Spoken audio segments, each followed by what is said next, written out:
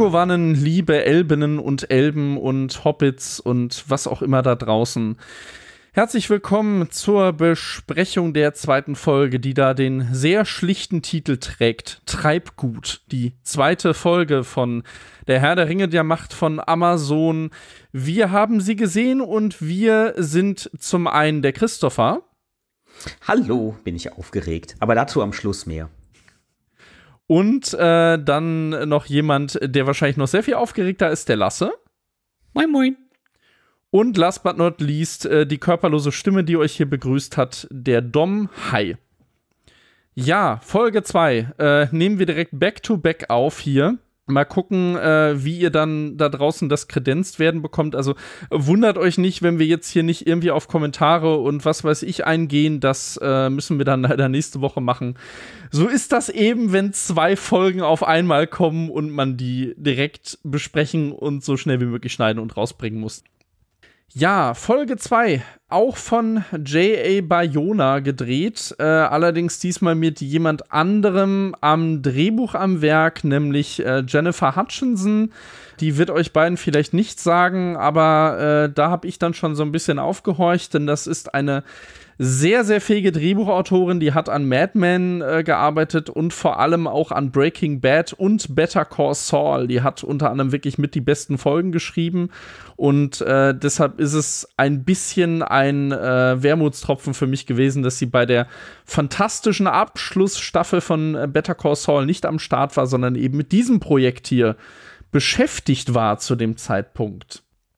Ja, steigen wir mehr oder weniger da ein, wo wir aufgehört haben, nicht ganz. Wir bekommen einen Rückblick, äh, wie man das so kennt halt bei Serien, also Previously On oder was das ist, ne?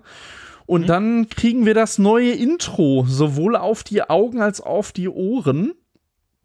Und da haben wir eben dann schon etwas, ja, was äh, schon durchaus so Begeisterungsstürme ausgelöst hatte äh, als es bekannt wurde, also es, es ging ja so lange gerüchteweise durch den Äther, dann wieder nicht, dann wieder doch.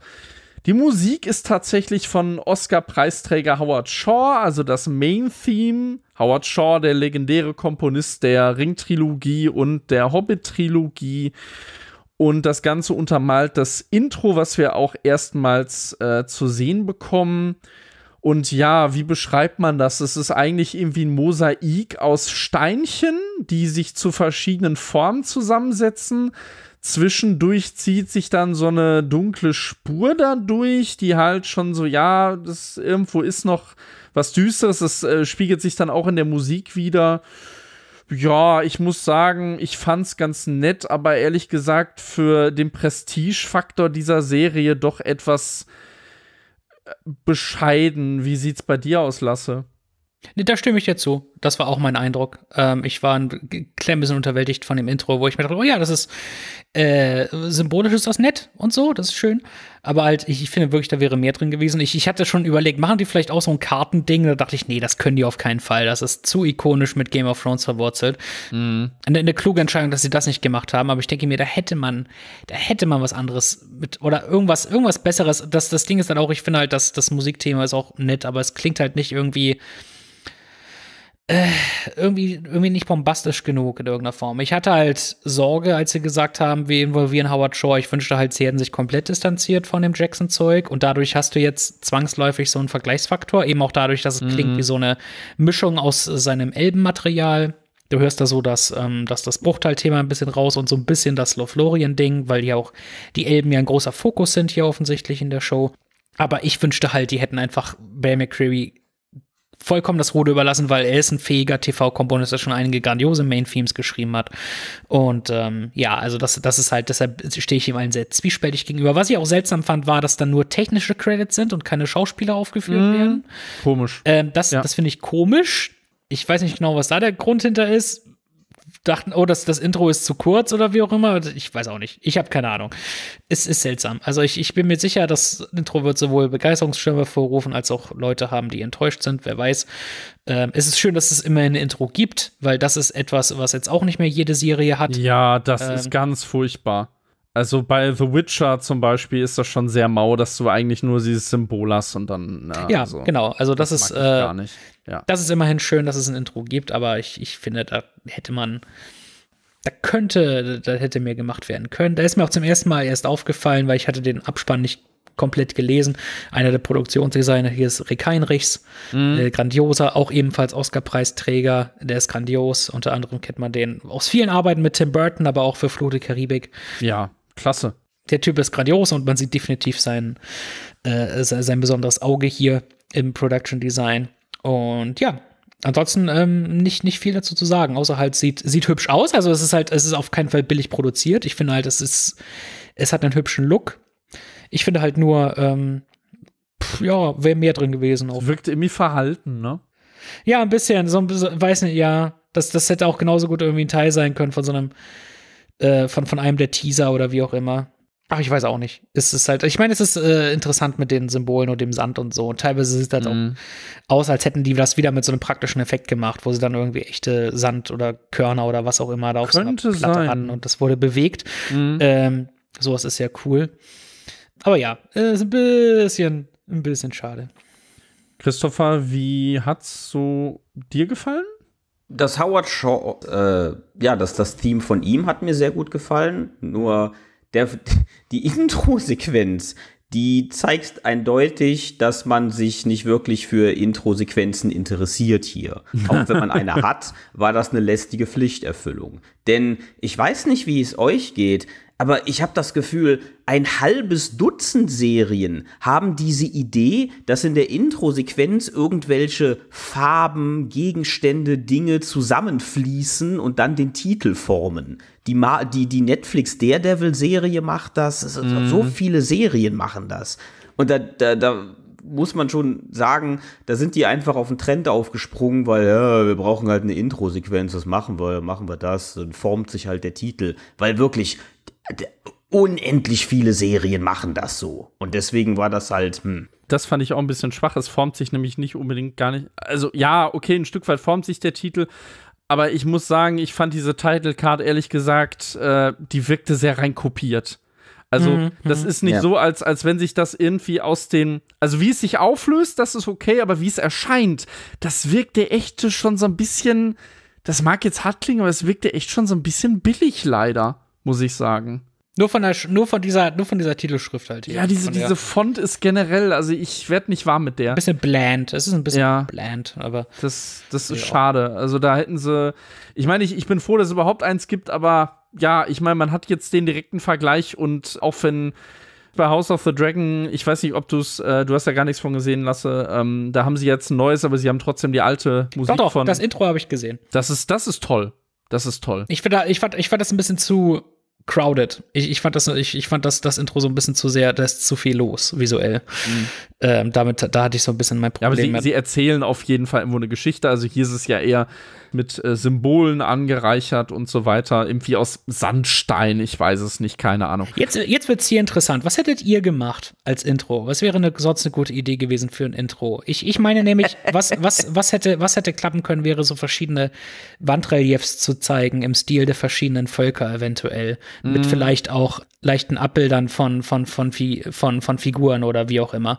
Halt so, so im Elbenstil, im Zwergenstil und so weiter, dann so Menschen und dann so verschiedene Gegenstände in Großaufnahme der verschiedenen Völker und Banner und so weiter. Eventuell sowas. Ich hätte ein ganz klassisches 80er Jahre Sitcom-Intro gewählt, wo alle in die Kamera gucken und grinsen und dann wird immer der Name des Schauspielers eingeblendet. Das kann man, das kann man auf Twitter bewundern. Und da gibt es sogar ja. einen Zusammenschnitt. Ich, ich, ich weiß gar nicht, wer das hervorgebracht hat, aber da gibt es einen Zusammenschnitt, da läuft die Musik aus dem Abspann des äh, letzten Twilight-Films. Und ja, äh, fragt nicht, woher ich das weiß.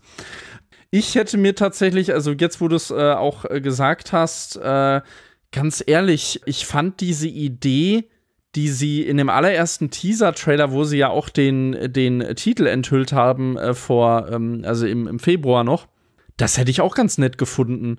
Das hätten mhm. sie dann nur ein bisschen. Also, da war ja der Witz, ich weiß nicht, ob du das mitbekommen hast, Lasse, aber äh, das wurde ja sehr äh, kritisiert, dass es sehr äh, äh computergeneriert wirkte. Und dann ja, ist ja. ein praktischer Effekt. Genau, da ist rausgekommen, dass es ein komplett praktischer Effekt war, aber es lag halt daran, was sie für Kameras verwendet haben. Sie haben halt ultramoderne 4K-Kameras verwendet und deshalb wirkte das so so steril. Aber ganz ehrlich, man hätte das vielleicht aufgreifen und dann irgendwie, weil ich fand diese Idee tatsächlich ganz nett, dass man den Schriftzug irgendwie in Goldlettern gießt und dann das, das, das hätte auch einen schönen Bogen über jetzt diesen ganzen, dieses ganze Emblem, sage ich mal, Rings of Power geschlagen. Ja, wenn man so eine so ein, so ein, so ein Bodenmuster und dann fließt da so etwas durch und so und dann genau. äh, formt sich formt sich daraus irgendetwas. Ich weiß nicht genau. Ja, auf jeden Fall jetzt das schöne und vielleicht wer weiß, vielleicht wird das ja noch thematisch aufgegriffen das Intro. Vielleicht hat das ja noch irgendeine Bedeutung. Ja, ich weiß es nicht. Ja. Vielleicht verändert sich's oder zumindest mit jeder Staffel zeigen sie irgendwie ein neues Motiv. Das wäre ja schon ganz. Das wäre schön, wenn es irgendwie vielleicht auch ein etwas anderes Intro wäre jedes Mal. Das wäre vielleicht auch nice. Vielleicht ist es deshalb so ein bisschen unterwältigend, weil da kommen halt noch mehr. Äh, also meine Hoffnung ist nicht allzu groß, aber man kann ja, ja. überlegen. Nun ja, das Intro äh, lassen wir mal beiseite. Wir sind bei, wir sind direkt bei Galadriel am Anfang. Jetzt ist allerdings Nacht, ähm, so eine schöne Aufnahme vom Himmel. Ich dachte erst, das wäre jetzt vielleicht gespiegelt im Wasser, wo ich dachte, oh, das wäre so ein schöner Callback. Aber sie schaut nur kurz hoch, ist jetzt irgendwie verloren im Wasser und beginnt zu schwimmen. Nach Hause zu schwimmen, viel Spaß. Ja, ja, genau. Ich meine halt, ich meine halt Elben, die haben, und ich meine, hier sind sie ja so auf der Höhe ihrer Macht sozusagen. Also garantiert hat sie einiges an Durchhaltevermögen. Irgendwann ist sie garantiert erschöpft. Aber sie ist halt, das ja. zeigt dem nochmal halt, wie getrieben sie ist dann halt. Und wenn ich bis dahin schwimmen muss, ich, ich mach das jetzt. Ja, diese Starkköpfigkeit, die sie hat, ne? Irgendwo auch. Äh, dann, glaube ich, sind wir direkt wieder bei den, bei den Haarfüßen, wo der zu Boden gegangen ist, unser, unser Unbekannter. Mhm. Ähm, wo, dann, wo dann auch ihre, ihre Freundin kommt und sie ganz toll erschreckt, aber sie ist super neugierig, fällt aus Versehen in die Grube. Allerdings äh, wird sie nicht verbrannt, obwohl es da, obwohl da hier und da Flammen aufschlagen oder die Erde Ja, das Feuer, das Feuer ist nicht heiß. Genau. Das ist das, ist das Kuriose. Mhm. Ja, und dann, äh, das bemerkt sie eben auch und sie sagt dann, oh, ein Riese und äh, er, ist, er ist tot. Aber nein, er, er packt ihre Hand und plötzlich äh, fängt alles um sie herum zu stürmen. Sie schreit, äh, dieser Mann schreit. Äh, dann allerdings ähm, hört es auf und, ähm, und das Feuer fängt, fängt wieder an zu brennen. Der kippt um und das Feuer fängt wieder an, ja.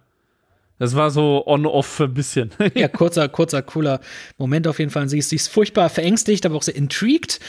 Und dann ähm, sagt ihre Freundin eben auch, wie sollen wir denn einen, einen, einen sagt, sagt deiner Mutter nichts davon und wie, wie sollen wir denn einen Riesen irgendwie wegschleppen? Und sie sagt halt, ja, ich fühle mich für ihn verantwortlich, wir müssen noch irgendwas tun. Äh, wir müssen ihm noch helfen, ihn nicht hier den Wölfen überlassen. Dann, glaube ich, sind wir kurz im Lager.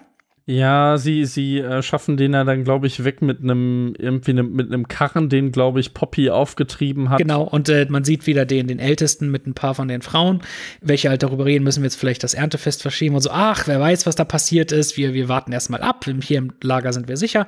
Und auf jeden Fall die beiden Freundinnen schleppen den Mann mit dem Karren, spekulieren darüber, wer er ist und was er ist, weil. Ja, es ist, es ist kein Elb, es ist kein Mensch. Also für einen Elb äh, sagt dann irgendwie Poppy auch, ist er nicht hübsch genug und er hat keine Spitzohren. Genau, und hat, und die Ohren passen nicht. Ja, es ist, ja genau. Es ist, es ist sehr schöner.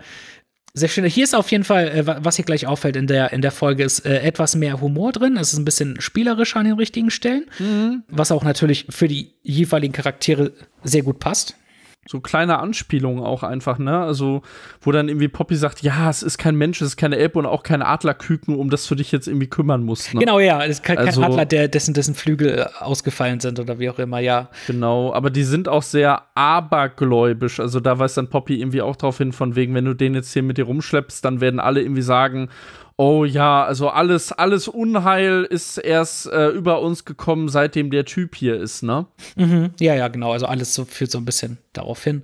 Und sie sagt, oh, es muss aber eine Bedeutung haben, dass er genau hier gelandet ist. Äh, der, der Karren entkommt ihn kurz, aber sie fangen ihn offensichtlich wieder ein, ohne dass der Mann allzu großen Schaden nimmt. Und sie verstecken ihn in so einem selbstgebauten Kokon mit so einer Decke. Mhm. Und dann halt ähm, sagt sie, ja, ich äh, fühle mich verantwortlich und äh, mal sehen, worauf das ja. äh, hinausläuft. Fand ich von der Schreibe her tatsächlich, also das muss ich schon mal sagen, äh, hier merke ich schon wirklich eine andere Handschrift. Es ist, es ist sehr viel, es ist sehr viel äh, Dialoggetrieben auf eine natürliche Art und Weise. Es, es fließt ein bisschen mehr. Ja, es, es, es wirkt so, ja, irgendwie natürlicher, ne? Also das, das äh, äh, auch fast schon so ein bisschen Walk and Talk eigentlich, ne? Das fiel mir nämlich in der ersten Folge vor allem auf, dass alle, die irgendwie miteinander reden, immer bedeutungsschwanger irgendwo stehen. Und das hier ist so ein bisschen, hier, hier kommt eigentlich fast so eine, ich weiß, du kannst sie nicht leiden, aber hier kommt fast so eine Aaron Sorkin-Note rein. Ich meine, äh, und ich meine, zugegeben, zu den Elben passt das, aber hier ist allgemein, es ist allgemein sehr viel mehr Bewegung und Action in den Dialogen diesmal. Ja. Ähm, wo es ein bisschen, äh, ist, die, die, die DarstellerInnen haben alle so ein bisschen mehr zu tun währenddessen. Ja, durchaus. Also es hat so ein bisschen besseren Flow. Christopher, wie war so deine Eindruck? Hast du da auch so ein bisschen äh, eine Veränderung gespürt in den Dialogen? Ja, ich mochte die Chemie zwischen Poppy und Nori. Sie noch mal? Nori. Ja, genau, Nori. Mhm. Ich mochte die Chemie zwischen den beiden. Ich fand den Dialog auch humorvoller als alles, was wir in der ersten Folge hatten. War ein bisschen mehr down to earth in dem Falle, doch. Aber wie, wie wir halt, na, die erste Folge, wie wir ja festgestellt haben, war im Prinzip nichts anderes als Exposition. Sie haben sich vielleicht große Mühe gegeben, das zu verbergen, mm. aber äh, das, das, das, war einfach eben ein, eine Lawine an Informationen, die da auf einen einprasselte. Und hier kann man sich jetzt Momente nehmen für, für mehr Charakterinteraktion. Das hat man später auch noch. Und das fand ich, ja, ja, der Einstieg war ganz lustig, wie sie ihn da auf der Karre wegfahren. Du hattest ja äh, insgesamt, ich weiß nicht, ob du es jetzt im Cast gesagt hattest oder äh, ähm, off Mike, dass sich das für dich, also ich meine, du bist ja längst nicht so in der Lore drin. Ja. Und das ist ja auch sehr, sehr, sehr viel Information für dich gewesen. War das jetzt insgesamt betrachtet in der zweiten Folge angenehmer für dich oder, weil du hattest ja wirklich schon gemeint, es fühlte sich an wie Arbeit für dich? Ja, das hat sich in der zweiten Folge auch so fortgesetzt. Es gab natürlich hier und da ein paar heitere Momente, aber ich habe auch zu keinem Zeitpunkt reingefunden. Okay, ja gut. Äh, werden wir vielleicht noch so ein bisschen rauskristallisieren, was da vielleicht so die Ursachen von sind. Auf jeden Fall machen wir dann einen Switch einen Übergang zum, zum brennenden Ort, wo wir auch aufgehört hatten bei Aondir und äh, Braunwen. Mhm. Ähm, auf keine, keine menschlichen Leichen irgendwo zu sehen. Ja, der Boden ist zerklüftet wie nach einem Erdbeben, aber es gab genau. anscheinend keins. Ne? Nee, da, da sie, in einem der Häuser finden sie quasi den Einstieg zu einem Tunnel, was mich so ein bisschen erinnert hat an, ähm, ach Moment, an, an, an Super 8 von J.J. Abrams, wo sie ja auch diese, diese Löcher finden in den Häusern mhm. und, und wo er dann sagt, oh, irgendetwas hat das gegraben von unten. Und äh, ich, ich werde mir das, ich, ich werde mir das genauer anschauen und du, und du läufst mal zurück und äh, warnst die anderen. Genau, auf jeden Fall geht er dann nach unten. Das re relativ kurz äh, läuft das ab. Ich weiß leider nicht mehr, wo es dann weitergeht. Äh, es geht weiter mit einem weiteren neuen Ort. Ach ja, richtig. Wir sind in Eregion. Genau, Reich der Elbenschmiede. Genau, und, und Eregion habe ich aufgehorcht gleich, weil das kannte ich, ähm, mhm. weil das wird in Herr der Ringe erwähnt, wo es allerdings unter dem Namen Hulsten bekannt ist. Dort kommen die Gefährten durch auf dem Weg zu den Nebelbergen. Also hatte ich da schon eine Ahnung, oh, ich weiß, wo das ungefähr liegt. Ach, wo Hulsten. ich dann aber auch dachte, ja, ja. dann haben die ja schon eine ganz schöne Strecke jetzt zurückgelegt. Ähm, Wer weiß, wie lange. Weil hier beginnt, äh, hier beginnt etwas mit Schauplatzhopping, auch mit den Charakteren selber, innerhalb relativ kurzer Zeit, obwohl wir halt nicht wissen, wie viel Zeit vergeht. Aber eben ja. dadurch, dass wir diese ähm, Story diese Storylines alle parallel erzählen, denke ich mir halt, die laufen nicht zeitgleich ab. Jedenfalls nicht komplett. Nee. Weil hier müssen durchaus einige, einige äh, Charaktere sind hier, müssen hier Tage unterwegs sein eigentlich. Äh, also das dürfte auch manche hier dann schon stören das fühlt sich wirklich so ein bisschen an wie diese berühmt-berüchtigte Schnellreisefunktion in den späteren Staffeln von Game of Thrones. Also manche yeah, haben jetzt bestimmt gehofft, oh, Elrond macht sich jetzt erstmal auf die epische Reise und ist die ganze oder die halbe Staffel zumindest unterwegs. Nö, er kommt hier einfach an. Aber ich muss sagen, also das hier war wirklich ein Money-Shot, der mir im Gedächtnis geblieben ist. Das hat man auch schon in den Trailern gesehen, aber das sah, also Eregion, das sah so unfassbar und wirklich erhaben aus. Also das hat mir wirklich die Augen und auch ein bisschen das Herz geöffnet. Das war toll. Und dann reden sie gleich über etwas, was du schon jetzt in unserer ersten Besprechung Ja, erwähnt hast. Da Gehen sie geht auf mir die, umso mehr das Herz auf. gehen sie auf ja. die, auf die Deep Lore ein. Ja, aber richtig, wir gehen einen Moment wirklich richtig Deep Dive machen wir eigentlich. Denn äh, was wir jetzt zuerst zu Gesicht kriegen, bevor wir überhaupt jemanden sehen, ist Feanors Hammer. Also Feanor, äh, derjenige, der die Silmaril geschmiedet hat, äh, der ja auch. Also Fe- Feanor ist ja dann der, der äh, diesen Schwur geleistet hat und dann halt gegen äh, Morgoth in den Krieg gezogen ist sich geschworen hat, seine Silmaril zurückzuholen. Und hier wird's dann auch nochmal erklärt, das äh, sind nicht irgendwelche Edelsteine, sondern das ist, sind wirklich die Juwelen, in denen das Licht Valinors bewahrt wird. Celebrimbor, der dann ja dort mit Elrond steht, äh, sagt dann, dass sich erzählt wird, dass Morgoth äh, so verzückt davon war, dass er wochenlang in den Silmaril gesta gestarrt hatte, die er gestohlen hatte. Und dass dann irgendwann seine Tränen auf den Stein fielen und dass er dann aber seine eigene Bosheit darin wiedergespiegelt sah und seitdem dieses Licht äh, abgrundtief hasste. Also sprich eigentlich sich selbst irgendwo, ne? Fand ich Ja, eine ja. tolle Dialogzeile tatsächlich. Ist, all- ist alles cool. Ich meine, du hast da erstklassige Schauspieler, die das, die das gut rüberbringen. Für Christopher, äh, Christopher war es wahrscheinlich nur Bahnhof, ne? Ja. Kurz und schmerzlos, ja. Ja, gut, du, du wirst da gar nicht reingezogen, ne? Irgendwie Nein. in die Lore. Okay, schade. Ja, dann, dann äh, stellt ihr so sein Proposal vor, wo er halt etwas bauen möchte. Mhm. Ich weiß nicht mehr genau was. Sollte es eine Schmiede sein? Ja, sie wollen auf jeden Fall irgendwie einen Turm erbauen und Teil dessen, dieses Bauprojekt soll auf jeden Fall eine gigantische Schmiede sein, wie die noch nie jemand gesehen hat. Und wir können uns dann denken, was da geschmiedet wird, nämlich wahrscheinlich irgendwann, also jetzt wahrscheinlich noch nicht, aber äh, es wird dazu kommen, dass Celebrimbor äh, dort die Ringe der Macht schmiedet. Aber ich sage jetzt nicht mit wem zusammen. Genau. Und allerdings muss das Ding relativ schnell fertig sein, äh, bis zum Frühling. Ja. Mhm. Und so ausgehend davon, dass ja, darauf sind wir gar nicht eingegangen. In der ersten Staffel hatten wir kurz ähm, von diesem schönen Elbenbaum dort bei Gilgalad fällt ein Blatt Mhm. hinunter, welches so mit, mit Schwarz durchzogen ist, mit so einer, mit so einer Ah ja. auch mit so einem ja. schwarzen Ding und eben das, das soll so mit symbolisieren, welche, welche Jahreszeit ungefähr ist. Ich schätze mal, wir haben so ungefähr Frühherbst. Und was ja durchaus bedeutet, ja, bis zum Frühling so ein Projekt fertig. Ach du meine Güte. Ja, wir sind hier nicht in Mittelerde, ne, wo, äh, ach, in Mittelerde, in, in Westeros, wo äh, die Jahreszeiten ganze Jahrzehnte dauern. Ne? genau, also das ist, äh, äh, da, da bräuchte man unfassbar viele Kräfte für. Das ist ein nie dagewesenes Bauprojekt und das schlägt Iron vor. Wie wär's, wenn wir uns Hilfe von außerhalb holen? Äh, Wo wir dann einen, einen kurzen Kartensprung machen. Äh, von dort aus ist es nicht allzu weit weg, äh, bis nach äh, Khazad-dûm, äh, dem, dem, dem, dem Zwergenreich, welches wir Moria. bisher, genau, in, in Herr der Ringe, welches wir bisher halt nur als, als Ruinen kennen. Umso, umso gespannter war ich darauf, das in, in, mal in Aktion zu sehen und damit halten sie auch gar nicht lange hinterm Berg. Sie kommen auf jeden Fall ähm, dorthin. Also, das ist jetzt wirklich ein beträchtlicher Zeitsprung, obwohl die Reise nicht allzu weit ist. Kommen beide dorthin und ähm, etablieren dabei, äh, ich bin, ich bin befreundet mit dem Zwergenprinz Durin. Ja, und Celebrimbor bewundert die Zwerge tatsächlich für ihre Handwerkskunst. Genau, war noch nie da, aber würde gerne mal alles sehen und hat gesagt, die haben in letzter Zeit wohl einen ordentlichen Schritt nach vorn gemacht mit dem Ausbau von allem. Und dann gibt es hier eine sehr schöne Anspielung auf äh, die Peter Jackson-Filme, denn Elrond sagt, äh, ja, sie werden uns irgendwie empfangen mit, äh, sie werden Ochsen schlachten und wir kriegen Pökelfleisch und Malzbier. Ja, das ist mir, aufge das ist mir aufgefallen. Das ist, das ist, das war so für mich der, die offensichtlichste Parallele, Ja. wo ich mir dachte, ja, hier wollen sie es definitiv haben. Kommt zu dieser Tür.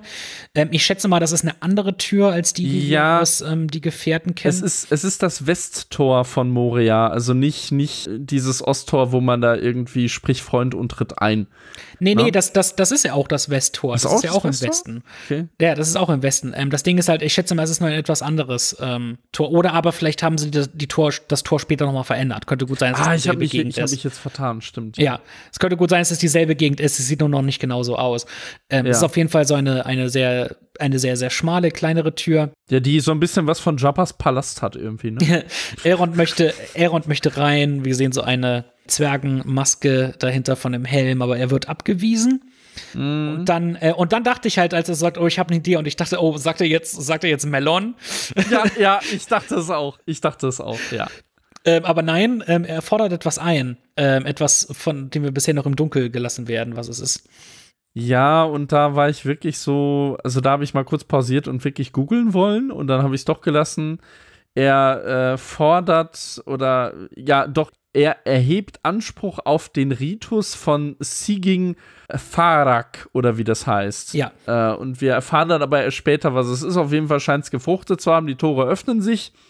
Und die Zwerge nehmen aber nur Elrond in Empfang. Da kommen Mhm. dann auch tatsächlich einige raus. Und da sehen wir dann tatsächlich zum ersten Mal wirklich die Größenunterschiede. Ne? Also Elrond und Celebrimbor sind sehr, sehr lang und groß und elegant und die Zwerge äh, wirklich eher gedrungen und klein und sie sehen klein. ähnlich aus wie im Hobbit. Ne? Nicht, ja, aber nicht, nicht halt, nicht halt hundertprozentig. Also es ist durchaus ein eigener, so ein etwas allgemeinerer Take, jedenfalls da auf den ersten Blick. Ähm, Ja, aber ja, trotzdem ja. halt, trotzdem halt definitiv cool. Die haben diese, diese, diese Maskenhelme auf. Ähm, dazu, hier sieht man auch zum ersten Mal so richtig so diesen, diesen Größenunterschied, dieses Zusammenspiel. Und ähm, es ist hier wirklich seamless, was diesen Effekt angeht.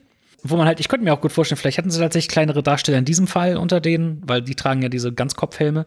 Ähm, Ich weiß es nicht genau. Auf jeden Fall nehmen sie ihn mit rein und da, da bin ich einfach, also da, da hatte ich so ein bisschen Fangasm, muss ich sagen. Äh, sie, sie kommen da rein und wir sehen einen Teil von Casadum, so in, in, in, der, in der Hochzeit. Und ähm, wir sehen da das Zwergenvolk, wir hören Zwergenchor im Score und äh, und und ach und, und es, es war es ich fand's es sah so wunderschön und cool aus und da, da dachte ich so oh das ist das das ist Ja, um Ja. mal um mal Samwise Gamgee aus der äh, aus einer ähnlich gelagerten Szene in äh, die Gefährten zu zitieren, ein wahrer Augenöffner. Also das hat mir auch wirklich das, das hat mich wirklich vom Hocker gehauen. Also der Detailreichtum war da auch großartig. Vor allem, du hast auch das Gefühl, dass äh, äh, Zwerge, also dann auch später dann in diesem, diesem, ich nenne es jetzt einfach mal Ritus-Raum, kein Zwerg sieht gleich aus, hast du das Gefühl. oh ja das ist äh, das ist Also sehr individuell und auch ein tolles, äh, tolles Detail fand ich, das hatte man gesehen, das erinnerte mich auch sehr an Game of Thrones. Äh, da ist irgendwie so ein riesiges, wie so ein riesiges Brennglas, was irgendwie das Licht verteilt in der Halle. Das fand ich, also ähnlich, ähnlich wie dieses Instrument, was da hängt in der Zitadelle in äh, Game of Thrones, was man ja auch im, im Vorspann ganz prominent sieht, ne? ja Christopher, wie hattest du dir das denn so vorgestellt? Vorgestellt habe ich mir gar nichts. Was sollte ich mir da vorstellen? Ja, ähm, weil ich meine, du hast ja, also als Vergleichspunkt äh, hast du ja zum Beispiel auch hier den, er äh, den Erebor in, in, äh, im ersten Hobbit oder auch dann im zweiten, der ist ja schon sehr eindrucksvoll auch. Das ist Ja. ja wirklich wie gefühlt eine ganze Stadt in den Berg gehauen, ne? ja. Au- auch hier haben die eine eindeutige Abneigung gegen Geländer Stimmt, ja, auch ja. Ja, wie bei Star Wars, ja. Aber nee, das, das, also es hat mich, ich, ich habe so, ich habe schon an den Erebor auch denken müssen, aber der verblasst ja dagegen. Also das ist, das vor allem, das geht so tief rein in diese, in diesen Berg, das ist unglaublich. Also man hat ja schon die Ausmaße gesehen in, in die Gefährten, wo sie da irgendwie durchstolpern durch Moria, wie tief das da ging und wie tief die da geschürft haben nach Mithril. Aber ihr habt mal eine Ahnung davon, wie sie dort leben. Du siehst da, du siehst da Andeutungen Ja. von, so, von, so- von so Erntefeldern auch unter der Erde. Ja, toll, Also wo da, wo da Pflanzen wachsen. Du siehst, äh, du, du siehst äh, da irgendwelche Zugtiere weiter unten. Du siehst da, du siehst da Leute, die in irgendeiner Form zugange sind. Etwas, was aussah wie eventuell wie, wie ein Barbier oder so. Also auf jeden Fall äh, jemand, der dort äh, zugange ist. Du siehst da wohl sowohl Männer als auch Frauen, dann kurz darauf dann auch ja im Detail. Also es ist ein, ein unfassbarer Ersteindruck, der, der audiovisuell also fantastisch ist und eben auch Elrond staunt sehr. Also Elrond ist überwältigt von dem ganzen Zeug. Ja. Und die Zwerge sind War er schon mal da? Ich weiß gar nicht. Ich schätze mal, dass er, dass er dort war, aber halt halt, es sind halt 20 Jahre vergangen und da hat sich wohl einiges Stimmt, getan. Ja. Und, ja, das äh, merkt man dann ja auch, dass er da so halb willkommen ist aufgrund Ja. dieser langen Zeit, ne? kommen sie da in den äh, in diesen Raum hinein, wo dann halt, das sieht man halt die ein bisschen mehr im Detail und ich mochte sehr, äh, wie die allgemein aussahen, weil die sind alle so, du hast da so halt wirklich ordentliche Make-up-Appliances, du hast da übertriebene Bärte, du hast dicke Nasen, ähm, einige sehen ein bisschen menschlicher aus. Es gab eine große Kontroverse im Vorfeld, weil hier sind die Frauen tatsächlich bartlos. Mich hat, Ja. das, mich, mich hat das persönlich nicht, nicht gestört. Ich dachte halt, ja, dann haben sie sich entschieden, gut, different take, wie auch immer. Ähm, etwa allgemein ist es auch in anderen Lores, es ist halt so, dass Zwerginnen Bärten haben. Sogar im Hobbit-Film siehst du äh, Zwerginnen, die, die so Bartandeutungen haben. Ja, so. von hinten. Ähm, hier ist es halt mhm. eben äh, nicht der Fall. Ich dachte mir, eventuell, es war, es war eine ästhetische Entscheidung, je nachdem, wie auch immer. Äh, mich hat's nicht gestört. Ähm, ich, fand auf, ich fand einfach, dass das Aussehen von denen fand, fand ich einfach so schön. Und die Art und Weise, wie sie dort äh, dort umgehen. Das hat einfach, das, so müssen Zwerge sein, so müssen Zwerge auftreten. Genau das, genau diesen Eindruck hatte ich einfach davon, weil ich bin da, ich meine, das ist halt auch der mhm. Larper in mir, ähm, aber das hat einfach so pure, es ist so schön, äh, Zwerge in dieser Art äh, visualisiert zu sehen, einfach weil man halt gerade in, in Herr der Ringe hat man nicht sehr viel von ihnen gesehen und im Hobbit nur ein klein bisschen mehr. Aber selbst da war es so ein bisschen Staffage eher. Und, ähm, mm. und hier finde ich halt, da hat, ich, ich gibt sehr viel Potenzial, das noch mehr auszubauen finde das ein toller Ersteindruck in der Folge. Ja, ich finde es auch toll mit den, ja, gut, mit den, mit den bärtigen äh, Zwergenfrauen ist ein Punkt. Auf der anderen Seite könnte ich mir auch vorstellen, also insbesondere im Hinblick auf diese, äh, die ja dann Durins Frau spielt, da kommen wir ja gleich noch zu. Ich könnte mir auch vorstellen, dass vielleicht auch die Darstellerinnen das nicht wollten und das ist natürlich vielleicht auch so ein vielleicht ist das auch so ein bisschen erniedrigend dann irgendwie auch rein ästhetisch, ne? Genau, wie gesagt, das ist eine ästhetische Entscheidung durchaus, denke ich mir. Wo sie halt, vielleicht dachten, hatten sie die Angst, vielleicht sieht das unfreiwillig komisch aus oder je nachdem. Aber man hätte es ja vielleicht so andeuten können. Also, ich meine, man hätte damit ja unterstreichen können, dass das vielleicht noch sehr junge Zwerginnen sind. Äh, ich bin da so, ja, weder so auf der einen noch auf der anderen Seite. Also, hm man hätte vielleicht, um, um, um das Ganze auch so ein bisschen, weil das, die sehen halt dann auch so ein bisschen langweilig daneben irgendwie aus. Ich fand nicht, ich fand nicht unbedingt langweilig, man sieht halt äh, viele dort, äh, dort im Hintergrund, sie sieht man ja später dann noch im Detail. Ich finde, dass die eine tolle Ausstrahlung haben und so, aber halt, ähm, ich weiß, ich meine, wenn die halt äh, im Hobbit-Film Thorin dann einen extrem kurzen Bart geben können, so dass er eher aussieht wie Aragorn, äh, mhm. dann, dann finde ich, dann, dann könnte ich hier damit davon kommen, dass ah, dann haben unsere Zwerginnen halt keine äh, Bärte. Ähm, ich, ich wüsste, ich, ich, weil, keine Ahnung. Ich meine, vor ein paar Jahren hatte ja, ich habe den nicht gesehen, aber dieser, dieser, dieser, dieser, dieses Musical da mit Hugh Jackman, Greatest Showman, da hattest du ja eine, eine von diesen bärtigen Frauen sozusagen da als, mhm. als eine der, der, der prominenteren Nebencharaktere und so. Es war eine echte bärtige Frau, ja. Ja, und das, ja. und da eben hattest du, ähm, man, man sollte halt meinen, dass es, weil der Film war ja ein großer Erfolg und ist sehr beliebt, dass das vielleicht, weiß nicht, dass man sich das dann vielleicht hier in dem Fall auch hätte trauen können. Wer weiß, was der Grund dafür ist. Die haben sich nicht getraut. Das ist, es ist, du musst bedenken, äh, äh, generell die Serie ist ja schon irgendwie relativ, also die, die sucht sich schon die ähnliche Zielgruppe wie die Filme und irgendwo kann man das auch nachvollziehen, weil Amazon hat nun mal wirklich ein Vermögen da reingepumpt und dann wollen sie auch die am breitesten mögliche Zielgruppe haben. Und sie ne? wollen eben auch neue Leute garantiert abholen damit. Und ich schätze, vielleicht wollen ja. die die nicht konfrontieren mit etwas, das dann, vielleicht denken die, ah, das geht vielleicht ja doch eine Spur zu weit. Weil bei Fantasy verlangt man den ZuschauerInnen allgemein schon eine ganze Menge ab. Weil es gibt da längst Leute, die längst nicht so aufgeschlossen sind wie andere. Und deshalb ist das einfach dann Zugeständnis an die Masse, könnte ich mir vorstellen. Christopher, wie war so dein Eindruck? Ich fand diesen, diesen Ritus lustig, weil ich hatte keine Ahnung, was machen die jetzt. Vielleicht machen die Wettessen oder sowas. Nein, wir kloppen jetzt Steine. Ist natürlich für einen feinen Elben dann natürlich keine Königsdisziplin. War ja. von Anfang an ein bisschen unfair.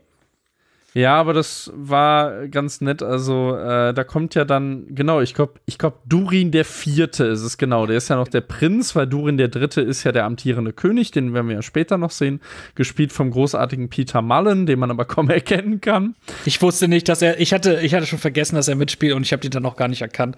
Ja, ges hier gespielt der Durin, Prinz Durin, gespielt von Owain Arthur, den ich auch vorher nicht kannte, aber der hat, macht einen grandiosen Ersteindruck.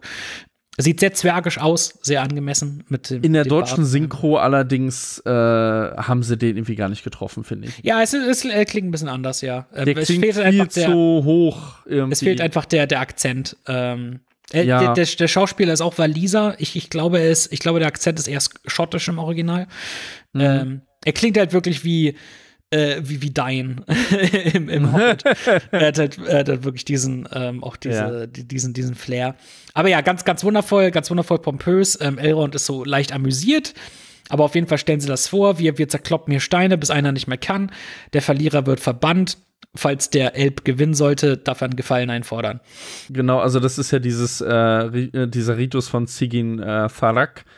Äh, hier wird dann auch, also äh, Durin lässt es mal kurz fallen, äh, dieses Ritual hat Aule persönlich geschaffen, also diese Zwergenprüfung. Aule ist der Valar, der insbesondere die, äh, die Zwerge erschaffen hat, tatsächlich.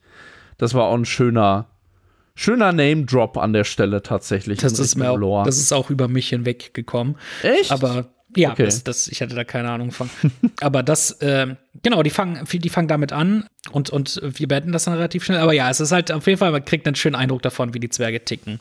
Ja, wenn, wenn El, also ich glaube, die Bedingungen sind ja, wenn Elrond verliert, dann wird er für alle ja. äh, Zeiten verbannt aus sämtlichen Zwergenlanden und Reichen. Und wenn er gewinnt, dann gewähren sie ihm einen Gefallen und äh, dann fangen sie an, eben mit äh, einem Stein, äh, mit einem Stein, mit einem Hammer äh, Steine zu zerkloppen. Und das sind auch wirklich, das sind solche, die, die, äh, weiß ich nicht, die man normalerweise irgendwie mit, mit Katapulten schleudert oder so. Ja, also wirklich richtig dicke, massive Brocken, Felsbrocken sind das schon. Sehr, sehr, ja? sehr, sehr groß und ja. Ja, fand ich eine ironische Szene, ja. Ja, das war sehr, war sehr hübsch. Hatte, hatte ein bisschen, also auch so diese Dynamik zwischen Elb und Zwerg, das erinnerte auch so ein bisschen an das Trinkspiel zwischen ja. Gimli und Legolas, ne? Ja, durchaus. Genau, weil halt dadurch eben, jetzt, äh, hier, hier merken wir jetzt schon irgendwas und Aaron merkt halt auch, irgendwas stimmt nicht ganz, weil äh, wir dachten ja, oh, die sind noch befreundet, aber äh, Durin benimmt sich nicht wirklich wie ein Freund hier. Nee, äh, der ist sehr ruppig. Also, genau, und äh, da, da merken wir schon, oh, da ist, da ist irgendwas los. Mal sehen, was. Ja, der wollte ihn ja auch erst nicht reinlassen, darf man auch nicht vergessen, ne? Genau.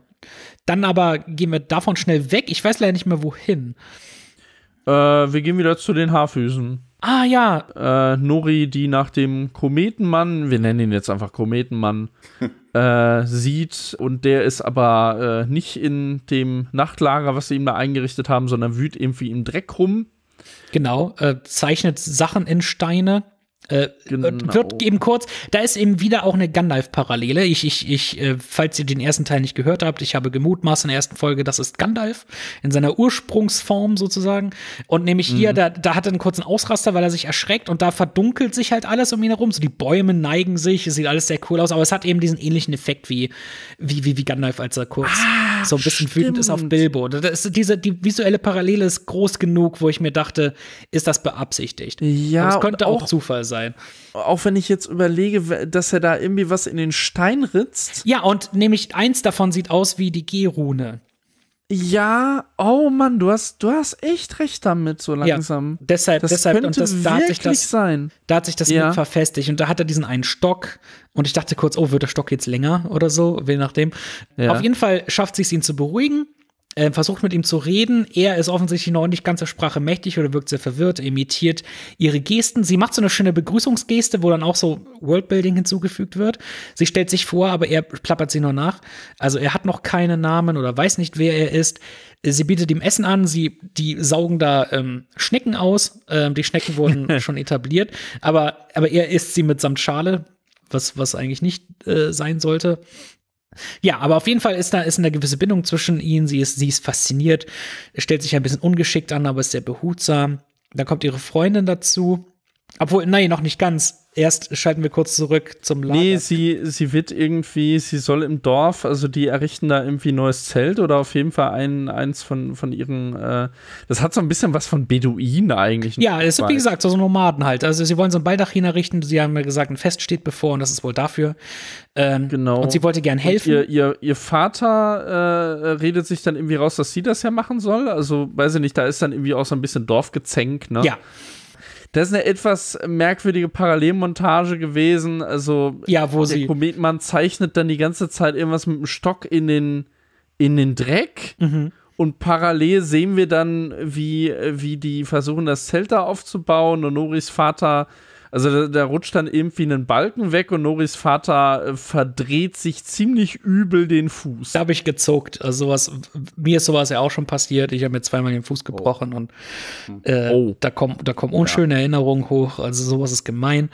Äh, und ja, und ja, das, das zeichnet was in den Sand, was sie nicht zu deuten weiß. Ihre Freundin kommt dazu. er rastet wieder kurz aus und sie beruhigt ihn. Ähm, und da eben, er, der hat halt, wie gesagt, sich diese, diese Decke und so, er hat sich so umgeschlungen, er trägt jetzt so eine Art grauen Mantel. Auch wieder, ne? Genau, genau, ja, richtig. Und er ja, trägt nämlich auch die. Bin ich, bin ich eigentlich blind, ey, sorry. ja. Aber wie gesagt, halt, es, es könnte halt auch durchaus sein, dass das alles vollkommen aus der Luft gegriffen ist. Aber wie gesagt, es ist halt so Deutet überdeutlich. schon sehr viel. Auch die Art und Weise, weil einige haben auch, ähm, seine Hände sind zu sehen auf einem der Teaser-Poster und so wie das Gewand ist, so, so halbfingerartig um seine Hände, erinnert sehr daran, wie Gandalf seinen Mantel trägt in den Filmen. Was mir au- auf, auch aufgefallen ist. Und wo ich mir dachte, es könnte auch nur Zufall sein. Aber halt, wie gesagt, es ist halt, je mehr und mehr nimmt das so ein bisschen, also mein, mein Verdacht nimmt, nimmt Gestalt an und ich finde, oh, das, das wäre nett. Aber ja, aber auf jeden Fall kommen sie mit ihm noch nicht sehr viel weiter, aber ähm, ihr Vater ist verletzt, sieht ein bisschen böse aus und sie ist sehr besorgt. Also sie ist sehr aufgelöst und, und weint ein bisschen und äh, fühlt sich, glaube ich, auch ein bisschen schuldig dafür, dass sie nicht da war.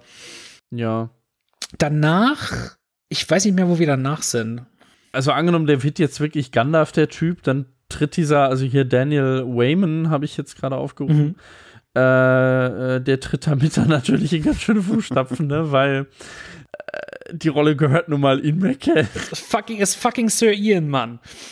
Äh, Das ist eben, ja, das ist eben auch das, äh, das Problem mit diesen Legacy. Aber ich meine halt die Tatsache von, äh, du hattest andere. Es ist schon irgendwie lustig, weil bei den anderen, bei den anderen bin ich viel eher so, so, so. Akzeptiere ich das so sehr viel eher halt bei Galadriel, bei Elrond und so weiter, dass das diese anderen Schauspieler sind und hier halt eben, äh, weil ich finde halt der, der Typ hat eine, der Typ hat eine coole Ausstrahlung, der hat, einen, der hat einen coolen Blick drauf. Äh, Das, das, das wirkt sowohl wild als auch so ein bisschen enchanting. Also der, der, der hat durchaus so eine gewisse Aura. Und natürlich ist das hier noch nicht, falls es der, falls es Gandalf ist, es ist halt eben noch nicht der Gandalf, den wir kennen. Ähm, aber äh, ja, es sind, es sind gewaltige Fußstapfen, weil meine Güte, das ist, das ist Ian McKellens Oscar-nominierte Rolle. Und Ja. äh, ah, also es ist, äh, ja, es ist ne, sowas ambitioniert und schwierig. Also, oh je, je. Christopher, wie, äh, was, was meinst du? Ist das wohl wirklich Ian McKellen 2.0 und hat er überhaupt eine Chance? Ja, wenn er es ist, dann wird es natürlich problematisch und dann muss er sich auf Fan-Backlash einstellen.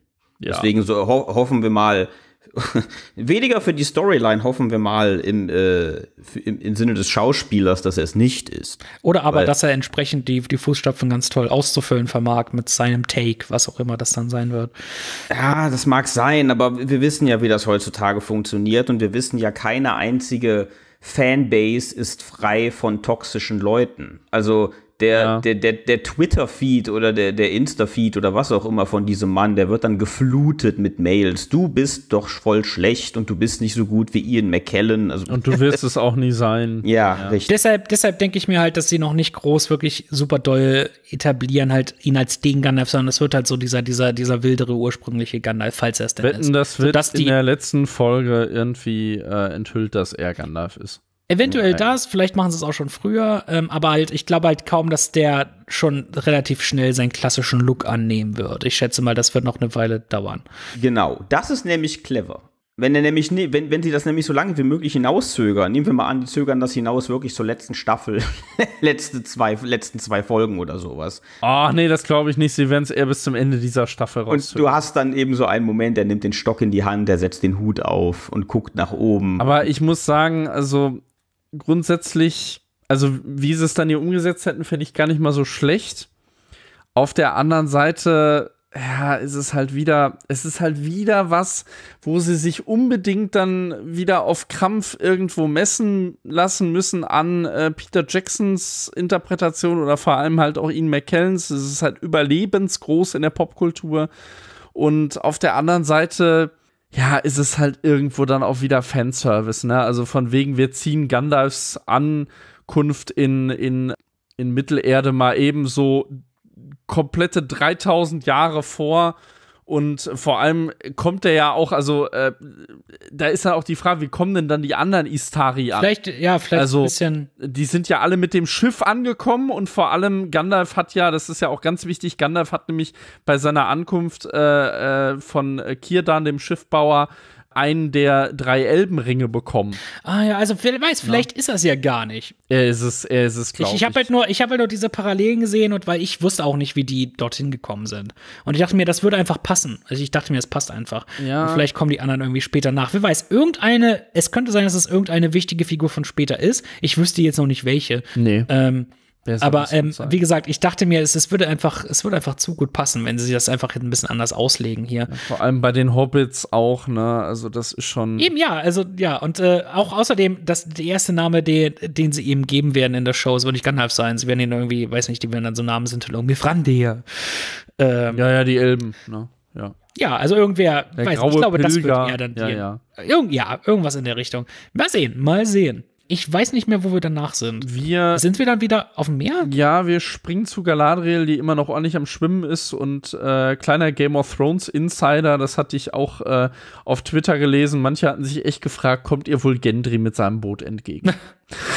ähm, aber Schönes aber letztendlich, äh, ja. genau, sie, äh, sie, sie sieht eindeutig erschöpft aus. Ich glaube, ganz blau gefrorene Lippen, die Arme. Ja, so langsam äh, das ist sie dann wohl doch nicht gewohnt und Elben haben auch nicht, also ich meine, Legolas ist ja auch gut in Shape gewesen in, in also jetzt hier Orlando Bloom.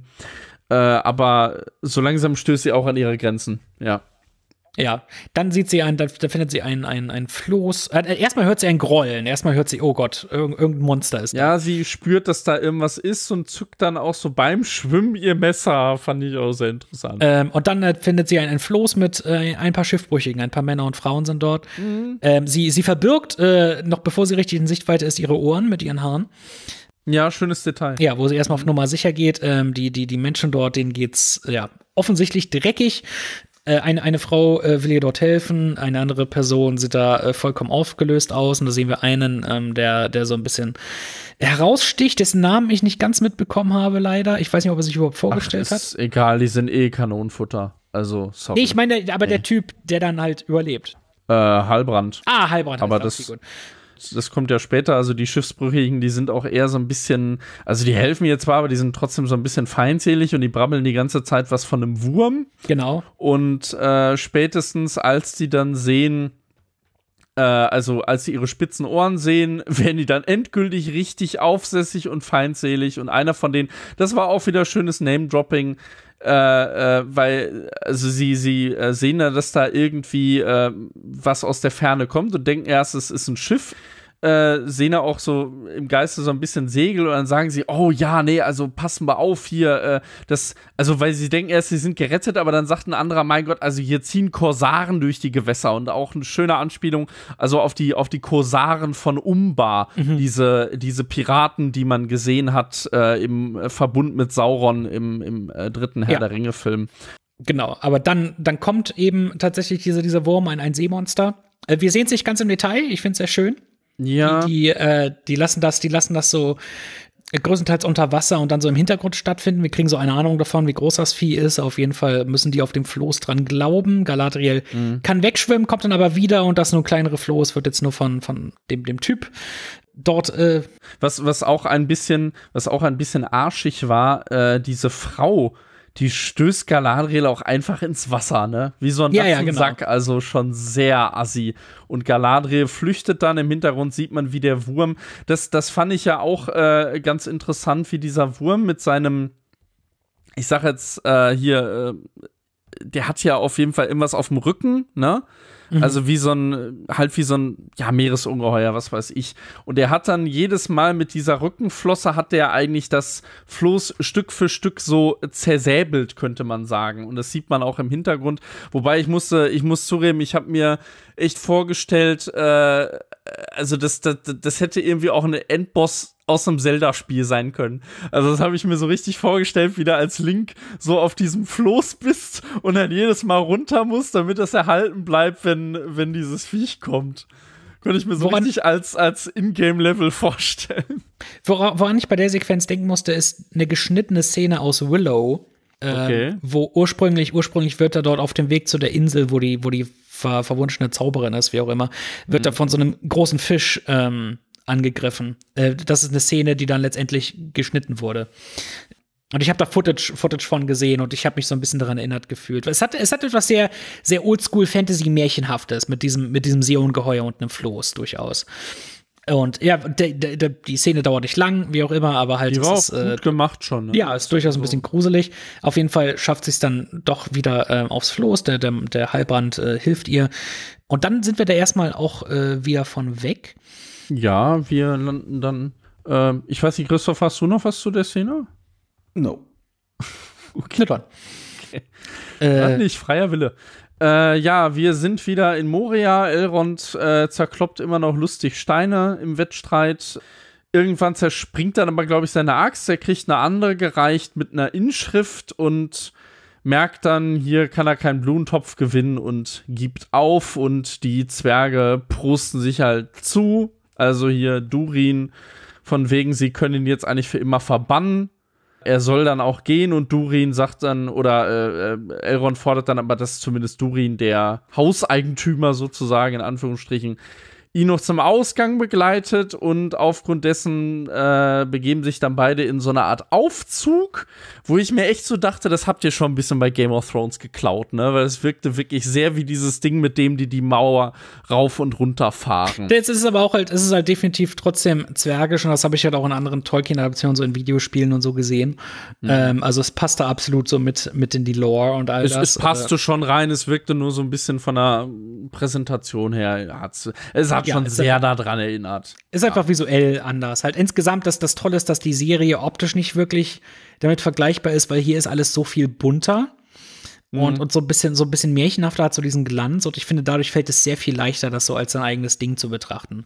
Ja, märchenhafter trifft es schon irgendwo. Also die ganze Optik ist schon das, das finde ich halt schön. Und dann, dann, dann spinnt sich da ein bisschen mehr Gespräch, wo halt Elrond sagt, oh ja, es ist beeindruckend und so. Und dann kommt heraus, warum warum Dorin stinkig ist, weil halt ich habe dich 20 Jahre nicht gesehen, das ist ein Liedschlag für einen Elben, aber für mich ist das, du hast meine Hochzeit verpasst. Ja, und, und so. die Geburt von gleich zwei meiner Kinder und sowas. Ja, es ist halt, und äh, der ist halt, kein Wunder, dass er stinkig ist. Und äh, ja. es ist wirklich sehr emotional. Also wir sehen diesen, diesen, diesen, Zwerg, diesen ruppigen Zwerg, sehen wir hier wirklich sehr emotional, sehr verletzt. Ja. Ähm, hab mich überrascht tatsächlich. Ja, es ist halt, äh, ist eine sehr, sehr hübsche Szene. Und, äh, und dadurch eben, ja, und äh, Elrond sagt, oh, ich, ich, ich gratuliere dir und äh, vielleicht kann ich kann ich's wieder gut machen? Kann ich mich bei deiner Familie entschuldigen? Was eben auch so mit, das zeigt so mit so diese diese Andersartigkeit äh, der Elben auch stellt das noch so ein bisschen dar. Mhm. Wo man so denkt, meine Güte, ja, du hast den, ich meine, das das war wohl, du du kennst den übelst lange, aber du warst dann 20 Jahre einfach nicht da. Das ist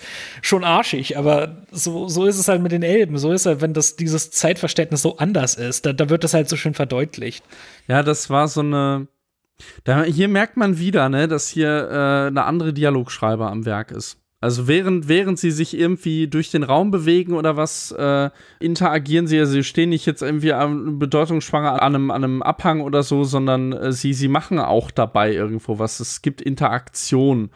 Und das setzt sich dann ja auch weiter fort. Also wir lernen dann tatsächlich dann auch Durins Frau kennen. Die ist sofort super herzlich, die freut sich tierisch.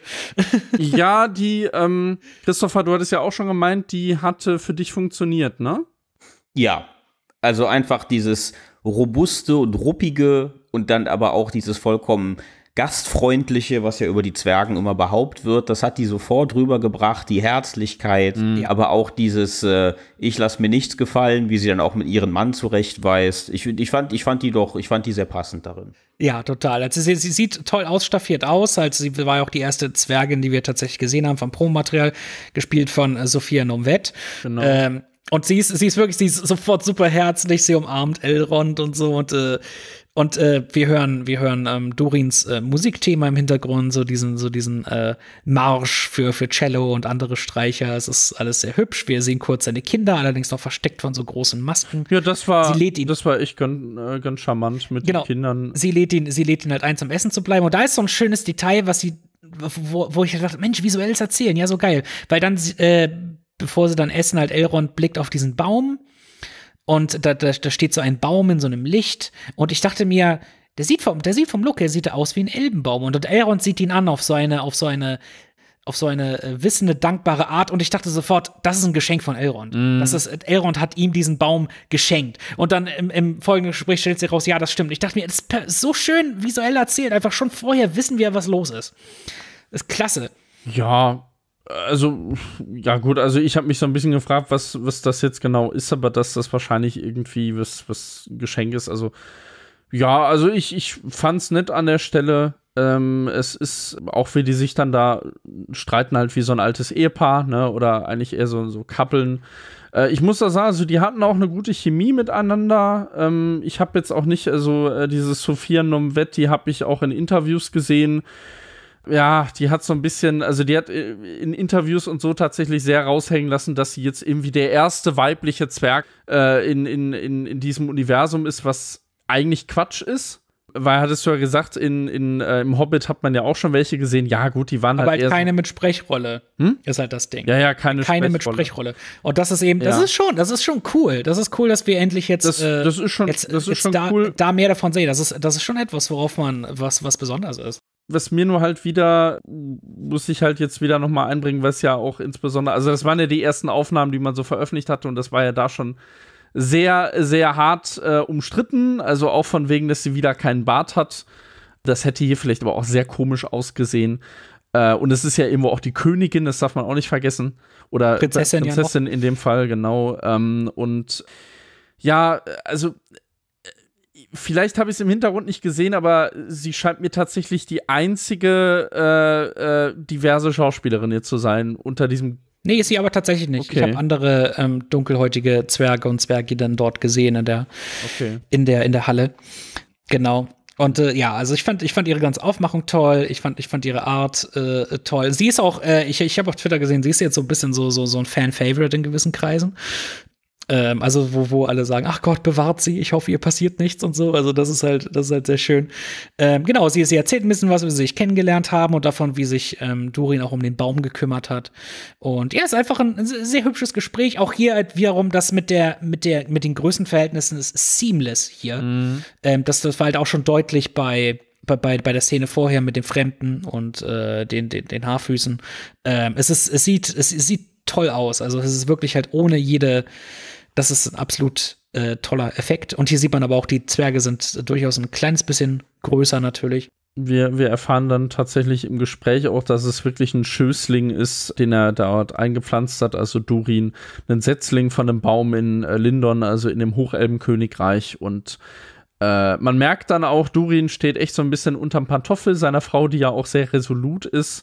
Und äh, dann. Aber sehr liebevoll trotzdem. Ja, ja, und, und dann drückt er sich doch irgendwie raus, so, ja, Elrond, ja, du sollst jetzt doch bleiben, ne? Also, das wird dann noch ein bisschen länger wahrscheinlich.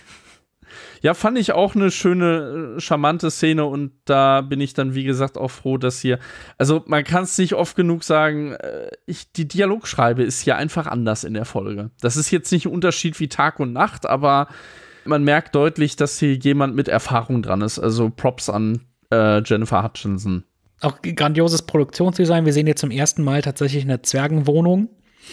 Ähm, jedenfalls in diesem Universum. Gemach cool ist. irgendwo, ne? Ja. Ja, genau, halt auf, ja, und das ist halt einfach, ja, es ist, es ist äh, in gewissem Sinne ein bisschen kahl, spartanisch, aber es ist halt cool. Und ja, wo, wo wir dann landen, weiß ich nicht mehr. Ich, ich glaube, dann kehren wir, oh, dann kehren wir wirklich wieder da in die Südlande zurück. Nee, sein, wir gehen zu Galadriel und Halbbrand. Das ist aber auch Ach äh, ja, Hal-. Halbbrand, nicht Halb, Halbbrand. Genau. Er hat irgendwas um den Hals. Genau, äh, also er ist ihr auch gegenüber eher so ein bisschen, er ist nicht direkt feindselig, aber sie ist ihm doch irgendwie relativ gleichgültig. Er vermutet auch, dass sie eine Fahnenflüchtige ist und spricht dann, also ja genau, er hat, er trägt irgendwas um den Hals, ein Königssiegel anscheinend. Und er erzählt dann irgendwie, ja, äh, du, du kannst zwar nichts dafür, was mir passiert ist, denn die Orks haben äh, mich aus meiner Heimat vertrieben. Und sie möchte dann aber unbedingt wissen, wo das ist, aber er ist nicht allzu mitteilungsbedürftig.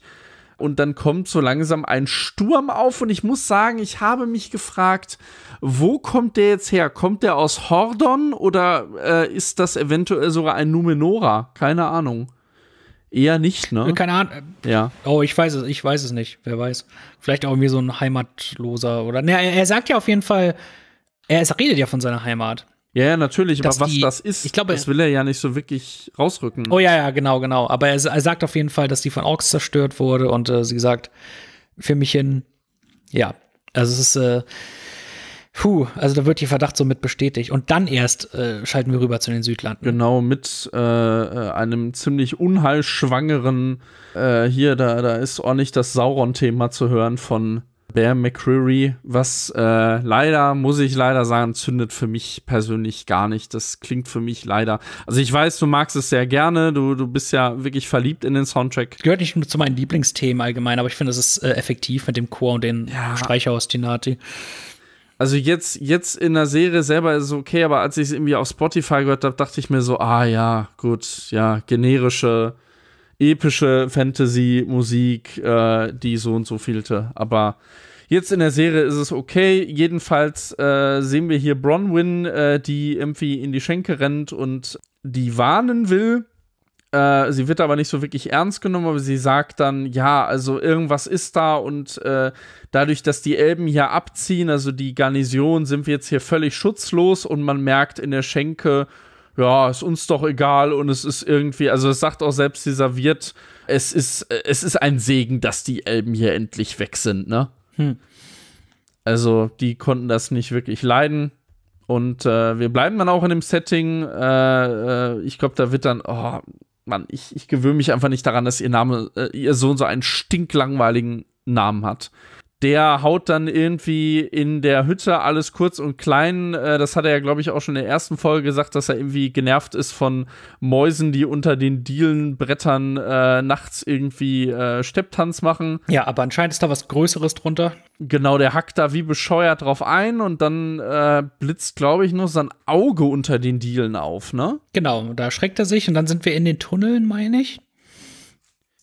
Ja, dann springen wir zu. Ja, gut, ey, ist ja alles ja am selben Ort, ne? Christopher, kamst du da überhaupt noch so mit? Ähm, also an der Stelle kommt doch der Fight, wenn, wenn, wenn gegen diese Kreatur, oder? Noch nicht ganz. Wenn wir noch nicht ganz, ganz, Noch nicht ganz. Okay. Mhm. Nein, dann kam ich offensichtlich nicht mehr mit. okay. Aber ich meine, sind wir dann noch in den Tunneln? Wir müssen da noch irgendwie in den Tunneln. Ja, wir äh, sehen Arondir, der durch diesen Tunnel kriecht und äh, ja, das hat mich so dezent äh, denken lassen an sowas wie The Descent, wenn ich ehrlich bin, weil ja, es hat, es hat was, gerade wenn er sich da so eine Spalte quetschen muss, sehr klaustrophobisch und Ratten kommen hinter ihm her und klettern über ihn drüber. Ähm, irgendetwas verfolgt ihn auf jeden Fall, irgendetwas ist da. Ja, er bleibt auch fast stecken, ne? Und, und genau. er zieht ja. auch irgendwas, das ist mir auch aufgefallen, er zieht irgendwas aus dem Stein. War das irgendwie ein Zahn oder sowas? Nee, ein langer, ich glaube, ein langer Fingernagel glaube ich. Okay. So, so fast schon eine Kralle, ja, ja. Weil da sind so Kratzspuren mhm. in der Wand. Und da, das ist, glaube ich, ein Fingernagel oder eine Kralle, das, was er da hat. Ja. Und dann wird etwas verfolgt auf jeden Fall, rollt ins Wasser, kommt wieder daraus hervor und dann wird er von Händen ergriffen und weggezogen. Also das mehr als ein Wesen ist da irgendwie unten. Ja, da kommen hier äh, sowohl in der Szene als auch dann jetzt der folgenden da kam für mich richtig durch, äh, dass J.A. Bayona auch unter anderem Horrorfilme gedreht hat, ne? Ja, ja, ja, das ist halt, das ist das Letzte auch, was wir von Arondir sehen in dieser Folge. Ich schätze mal, dass Stimmt, der ist dann äh, erstmal verschwunden. Äh, ja. Er wird ein Gefangener sein in der nächsten, höchstwahrscheinlich, da wird er anfangen. Wir wissen erstmal nicht, was ist das für eine Kreatur, denn es ist relativ schnell offensichtlich, okay, es ist, es ist ein Ork. Anscheinend auch ein ziemlich alter und lidierter. Mhm. Trägt erstmal so eine, so eine gruselige Knochenmaske, die er dann später los wird. Auf jeden Fall, ja, es ist, es ist eine ziemliche äh, es ist eine relativ effektive Horrorsequenz, wie das Ding da rauskommt. Wir sehen es nicht genau. Mm. Wir haben so halbe Jumpscares hier und dort. Auf jeden Fall beide, äh, Mutter und Sohn, haben sich an unterschiedlichen Orten versteckt. Genau, also, also Bronwyn kommt ja, kommt ja nach Hause und dann ist irgendwie, also ihr Sohn versteckt sich dann irgendwo und äh, äh das ganze Haus ist irgendwie total verwüstet. Ne? Ja. Und, äh, und sie Bronwyn soll dann eigentlich schnell Hilfe holen, aber kommt dann nicht mehr weg äh, verstecken sich dann ja irgendwie hinter, hinter Dielen oder was und dann äh, ja, ist, ist ich habe das Ding bei Jona Horror. oh ja, total. Dann äh, dann auf jeden Fall irgendwann verliert es die Maske und es ist auf jeden Fall ein ziemlich äh, hässlicher Ork. Äh, sehr, sehr. Äh, gibt's hübsche Orks? ja, äh, dieser hier, das ist eben halt ganz besonders eklig. Ähm, ja. Er kriegt ja. auf jeden Fall ein paar, äh, es, es, es entspannt sich ein Handgemenge, er kriegt ein paar Verletzungen ab, auf jeden Fall, er wird in den Rücken gestochen mit irgendetwas. Sie schafft es, ich glaube, sie spießt hier mit einer Säge auf, die sich dann verhakt. Ähm, es sah für mich aus wie eine, wie eine Säge in irgendeiner Form. Ja, die irgendwie, ah, die Szene war ein bisschen komisch geschnitten. Die, ich glaube, äh, mit in der Klinge durchbohren die ihn, aber die hängt dann wiederum irgendwie das, das ist ganz komisch gewesen. Der Junge hängt dann da irgendwie auch fast an einem Strick oder so. Das er, ja, er versucht, er versucht die das, war das, unübersichtlich. Er versucht das Ding zu, er versucht das Ding zu erhängen, äh, klappt aber Ja. nicht. Auf jeden Fall hängt das dann irgendwie fest. Ich glaube, halt, sie reimt ihm eine Säge rein, die verhakt sich dann und dann schafft ja, sie sie, es. sie köpft den. ja, wir, wir sehen nicht, wir sehen halt, wir sehen, wie sie zuschlägt, aber dann halt äh, harter Schnitt und dann legt sie den Kopf auf den Tresen da beim Wirt und, und so dachte ich, uh, Das ist eine, das war eine super Überleitung. Die, das die das, ich uh, ganz uh, gut. Ja. morbide äh, und Ja. äh, und eklig. Also da da kommt wieder auch zum Vorstellen. Okay, die die die scheuen sich nicht. Das ist schon ein bisschen, das geht ein bisschen deftiger zur Sache hier durchaus. Ja, das äh, könnte vielleicht auch, äh, äh, schreibe ich vielleicht auch Jay Bayona zu, tatsächlich. ja, also das ist halt schon ein bisschen schon ein bisschen eklig. Und dann sagt sie so hier, wir sollten lieber alle abhauen. Und dann sagen die anderen ja ja stimmt. Oh Gott. Äh, ähm, Ja. Aber bevor wir da dann weitermachen, dann gehen wir wieder weg. Ich weiß nicht, sind wir dann im Wir sind wieder bei Galadriel. Ja, dann sind sie äh, volle Kanne im Sturm, wo sie, Ja. das lässt sich relativ schnell zusammenfassen, sie, sie, sie ersäuft fast und er äh, rettet sie mit Hilfe des, des Mhm. Dolchs und dann ähm, klammern sie sich weiter am, am Floß fest. Ja, sie singt ja wirklich dann schon, also sie hat sich dann irgendwie, glaube ich, an so einem Tau oder was verfangen Genau. und singt dann. Das da dachte ich mir auch so, das ist irgendwie so, so ein bisschen wie bei Fluch der Karibik, wo es heißt, irgendwie, sie haben Stiefelriemen Bill äh, die, die Kanone ans, an, an den Stiefelriemen gebunden. Ja, Ja, ja. also sie sagt dann wirklich so unter Wasser und das war, das war eigentlich auch keine schlechte Szene, wie er dann zu ihr runtertaucht und sich dann das, das Messer holt und sie, also das da fand ich auch einen tollen Gegensatz, dass sie erst ihn rettet, als er über Bord geht und er dann sie rettet, als sie halt unter Wasser äh, fast absäuft, ne? Genau, sie greifen, sie greifen einander in den Händen, sie helfen einander auf jeden Fall. Ja. Ist jetzt ein bisschen mehr Vertrauen etabliert. Ja, und auch irgendwie in einer Gefahrensituation. Also es ist schon glaubwürdig, dass dann da auch irgendwie so ein bisschen das Eis bricht, ne? Zwischen Ja. denen. Die war auch durchaus stimmungsvoll inszeniert, so mit, mit dem Ja, oh Gewitter, ja. ne? Ja. Fies, ja, fieser Sturm und Musik und alles. Dann, glaube ich, gehen wir zu den Haarfüßen wieder, wo sie den, wo es jetzt Nacht ist Mhm. und sie nochmal den Fremden aufsuchen. Und da wird so richtig mystisch zauberhaft, weil sie haben da Glühwürmchen In den oder Laternen. Leuchtkäfer oder was auch Mhm. immer, haben sie in ihren Laternen eine davon, aus einer davon fliegen die raus und dann flüstert er etwas den Glühwürmchen so wieder, dachte ich, so eine gewisse Parallele. So Ja, das, äh, wo ich jetzt, also, das fällt mir jetzt wieder ein, als ich es gesehen habe, dachte ich mir, es kommt mir doch irgendwie bekannt vor, weil es gibt ja diese, diese Szene in die Gefährten, wo äh, Gandalf mit einem äh, Schmetterling spricht. Eine Motte, glaube ich. Ne, mit einer Motte, genau, wo, wo die dann irgendwie Hilfe holt, die Adler holt da. Ja, genau. Und hier hat er die, diese Insekten in der Hand und er flüstert ihnen irgendetwas zu. Auf jeden Fall ist er sehr, sehr gentle mit denen und die formen ein, ein Sternbild oder so etwas. Ist halt auf jeden Fall sehr, sehr mystisch. Und dann sterben all diese kleinen Käfer um ihn herum. Also das ist sehr, sehr, ja, sehr unheilvoll. Ja, die Szene fand ich auch gar nicht schlecht. Also auch, äh, ich muss da sagen, dieser, ähm, der, der Schauspieler, der den Stranger spielt, der ist schon, der ist schon sehr ausdrucksstark tatsächlich. Ja, total. Also was er da macht ohne Worte ist, Ja. ist äh, ist toll. Ja, schon toll. Und äh, auf jeden Fall, ja, also das, auf jeden Fall merkt man da, okay, er hat so eine gewisse Bindung, das ist so leichte Magie. Ich meine, das haben wir auch schon vorher gesehen, dass er offensichtlich was Magisches an sich hat. Äh, dann, glaube ich, sind wir wieder bei den Zwergen. Ja, wo wir eigentlich nur eine relativ kurze Begegnung haben, aber eben auch die Einführung, nämlich äh, Durin der Dritte, also den wir jetzt schon eine Weile gesehen haben, trifft auf seinen Vater, den. Äh, Nee, Durin der Vierte trifft auf seinen Vater. Nee, nee, nee, nee. Erst Durin der Dritte und dann, oder? Nee, Nee, Ach, nee Durin der äh, Vierte stimmt, Durin der Vierte, genau. Trifft auf Durin den Dritten, meine Fresse, ey. Äh, Durin der Dritte, gespielt von äh, Peter Mullen, hatte ich ja schon erwähnt, den kennt man ja unter anderem, äh, Christopher, du wirst noch kennen aus Westworld, aber du hast ihn hier wahrscheinlich auch nicht erkannt, ne? Nein, wie denn? Also, äh, du weißt noch, wer es ist, ne? Oh, ja, wenn ich ihn erkannt hätte, würde ich es wissen. James Delos. Oh, kein Ja. bisschen erkannt. Ja, der war auch, Lasse, wir haben den, ähm, wenn du dich noch erinnerst, wir haben vor zwei Jahren diese Netflix-Serie Cursed besprochen. Ja, ja, genau, ich weiß noch, dass er da war. Da war der der oberste, der Paladine. Den, ich Genau. muss sagen, ich mag den sehr gern, den Schauspieler. Der hatte ja auch eine ganz, der hatte, der hat einen der Todesser gespielt äh, im, im äh, siebten Harry Potter. Oh, ja, also ich, muss dazu sagen, also hätte ich es nicht gewusst, hätte ich, wäre ich nicht drauf gekommen, dass er das Sehr ist. aufgemacht. Äh, sehr imposante Erscheinung, sagt eigentlich nicht viel, aber der ist halt auch direkt skeptisch. Äh, also von wegen ist das jetzt ein Zufall, dass Elrond ausgerechnet jetzt hier ankommt. Und äh, er sagt dann auch einen Satz, den es auch in die Trailer geschafft hat: Es gibt kein Vertrauen zwischen Hammer und Fels. Ja, das ist nice. Ja. Und dann ist da ein, ein Kästchen, wo er etwas rausholt. Wir Mhm. wissen nicht was. Ist ein, auf jeden Fall ein leicht blaues Leuchten. Ja. Ich weiß nicht, was es sein ich, ich weiß nicht, was es sein könnte. Ich, ich denke jetzt erst daran. Jetzt ist, äh, kommt mir die Idee. Ist es eventuell Mithril?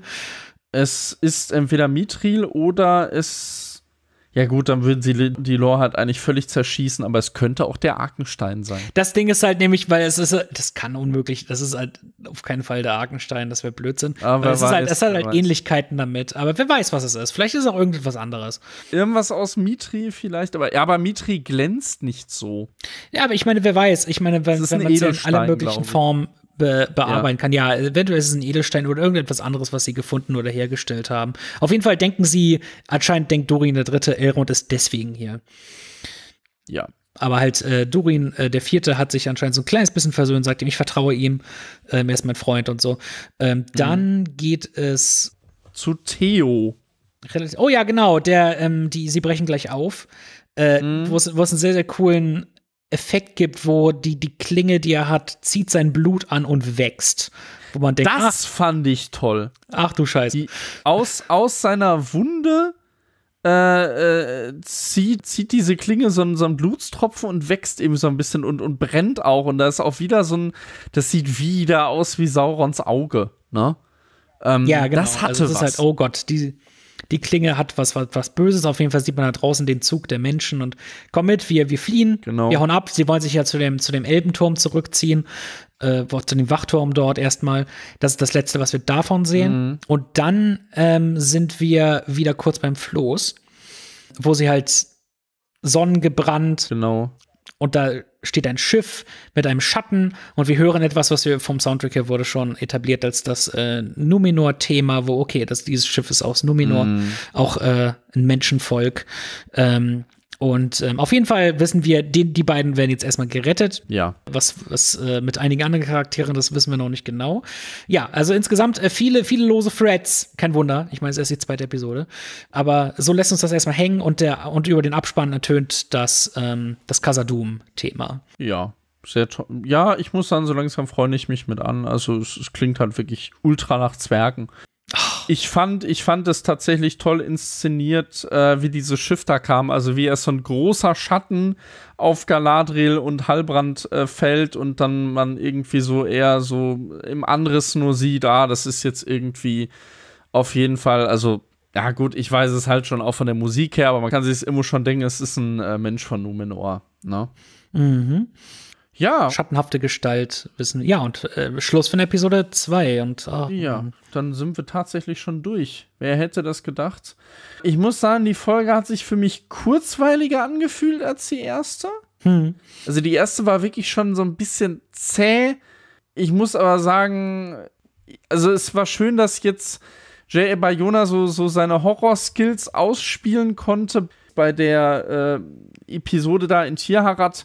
Aber leider, bis auf diese Klingennummer, packt mich das nach wie vor nicht so richtig. Und Arondir, das, was jetzt mit dem ist, da bin ich jetzt ehrlich gesagt, also ja, ist jetzt halt weg. Also ich würde ihn jetzt nicht vermissen. Ja. Ja. Ich hoffe halt, er sorgt dafür, dass wir mehr von den Orks sehen in der nächsten Episode. Ja, vielleicht landet er irgendwie. Wer weiß, vielleicht landet er ja beim großen Ork, der dann auch ein Ständchen von sich gibt, ne? Auf jeden Fall erwähnenswert äh, bei dem Ork, komplett praktischer Effekt, komplett alles Make-up. Ja, Ähm, toll. Wundervoll. Muss man erwähnen heutzutage einfach. Ja, vor allem im Hinblick auf die. Da muss ich die Hobbit-Trilogie dann hinter klein machen, wobei sie hatten, sie hatten ja äh, dann zumindest hier da in, in ähm, oh, Sie hatten hier und dort praktische Seestadt. Also genau. nicht, ja, es ist nicht alles Ja. CGI dort gewesen, aber halt vieles. Ja. Ja, insgesamt, sonst würde ich mich jetzt einfach mal vordrängen. Also, ich fand die Folge schon besser als die erste. Ich fand die Dialoge, wie gesagt, deutlich besser. Es hat sich kurzweiliger angefühlt, teilweise schöne Charakterinteraktionen, viele schöne Details am Rande. Ja, so langsam läuft es bei mir an. Also es haut mich jetzt nicht völlig vom Hocker. Visuell fand ich es teilweise schon richtig, richtig, richtig toll. So total hooked bin ich noch nicht, aber zumindest ein bisschen mehr. Und ich weiß nicht, Christopher, soll ich dich überhaupt fragen? ja, zur Folge sage ich nichts. Ich kann mich auch an kaum noch was erinnern, ehrlich gesagt. Okay. Aber liebe Hörer, ich kann euch erzählen, was euch in den kommenden Wochen erwartet. Ihr werdet diese Besprechungen hören mit Dom, mit Lasse und mit wechselnden Gästen. Denn ich werde mich an dieser Stelle verabschieden, denn ich möchte niemandem den Spaß daran verderben. Aber mir gibt die Serie so viel wie damals Integralrechnungen auf der höheren Handelsschule. Und ich bin, ich bin zwar denn ich bin zwar, ich bin zwar Nerd durch und durch, aber wenn ich tief in mich gehe und ich dann merke, ich, es interessiert mich ehrlich gesagt wirklich mehr, was als nächstes bei Euphoria passiert, als hierbei, mhm. dann kann ich dem nichts mehr hinzufügen. Aber eure Gesellschaft hat mir wie immer eine Menge Freude bereitet und wir werden uns dann bei anderen Recaps dann wieder hören. Okay. Ah. Ja, Lasse, dann bist du noch dran. Ja, also ich, ich fand's wundervoll wieder. Also äh, äh bin, bin super gespannt, wie es mit den Charakteren weitergeht. Ich fand halt alles, alles in Casadum habe ich geliebt. Alles das fand ich wundervoll. Äh, all diese Charaktere, die dort aufgetreten sind, mochte ich sehr, sehr gerne. Ähm, spann spannende Sequenzen äh, zwischendurch sehr, sehr, sehr interessante weitere Entwicklungen. Ich bin echt, ich bin, finde so scheiße, dass ich jetzt eine Woche warten muss. Ich bin super, also ich bin so, so gespannt auf alles, was noch kommt und bin tatsächlich ein bisschen erschrocken darüber, dass es jetzt dann immer noch jeweils nur eine Folge ist, weil, ach, das wird viel zu schnell vorbeigehen irgendwie. Ja. Ähm, aber ich, äh, ja, ich bin, es sind ich, noch ich sechs bin, Wochen. aber ich, ich bin verzaubert nach wie vor und äh, bin und wirklich das ich ich habe ja so wirklich so den, den Geist von Tolkien gespürt so im Detail halt gerade halt was alles an Casadum anging also in den in den Kostümen allgemein in in den Sweeping äh, äh, Landschaftsshots und so weiter in, in der Musik. Also es ist halt alles, es ist so tief, so tief drin. Ich bin jetzt, ich bin in Mittelerde wieder angekommen und ich bin so froh, dass ich wieder da bin. Man wird sehen, wo es hingeht. Vielleicht kann es ja noch was werden. Äh, ich bin bislang, ja, für mich ist es bislang so ein, so ein solides Niveau, wo es sich gerade einpendelt. Man wird gucken, wo es noch hingeht. Äh, ich bedanke mich auf jeden Fall recht herzlich bei euch beiden, vor allem bei Christopher, dass du das hier durchgestanden hast diesen Nerd-Kongress, diesen halben. Ich bedanke mich natürlich auch bei euch da draußen, liebe Zuhörerinnen und Zuhörer. Ihr könnt auch gerne uns natürlich schreiben, wie ihr die Folge fandet, was ihr vielleicht auch so, vor allem was ihr für Theorien zum äh, Stranger-Kometenmann habt. Ist es der neue Gandalf? Ist es Sauron in Disguise? Äh, das würde mich sehr interessieren. Letzteres erscheint mir immer abwegiger und äh, ersteres immer wahrscheinlicher. Aber wir werden sehen, wo es hingeht nächste Woche. Ich freue mich jetzt doch tatsächlich ein bisschen drauf. Ich bin gespannt, wer hier nächste Woche aufschlagen wird. Ansonsten, ja, im Zweifelsfall machen Lasse und ich das zusammen. Aber es wird sich sicherlich noch irgendwas ergeben und damit würde ich sagen, sind wir raus. Macht es gut. Bis nächste Woche. Sehr geehrte Damen und Herren, wertes Publikum, liebe Hörende, vielen Dank für eure Aufmerksamkeit und Zeit. Ich hoffe sehr, euch hat gefallen, was ihr gerade gehört habt. Wir, die Redaktion des Telestammtisch, betreiben ein semi-professionelles Podcast-Projekt zum Selbstmitmachen. Also meldet euch bei uns, wir beißen auf. Außerdem freuen wir uns immer über Feedback via Social Media und E-Mail sowie euren finanziellen Support. Ebenso frohlocken wir förmlich über Bewertungen auf den gängigen Podcast-Plattformen. Wer möchte, darf uns gern immer und überall empfehlen. Alle relevanten Links findet ihr in den Show Notes. Vielen Dank und bis zum nächsten Mal. Euer Andi.